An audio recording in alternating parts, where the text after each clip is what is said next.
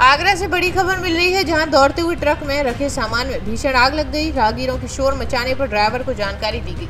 Driver की कुशलता से बड़ा हादसा होने से बच गया। पार्क में लगी एडीए की समरसेबल चलाकर आग पर काबू पाया गया।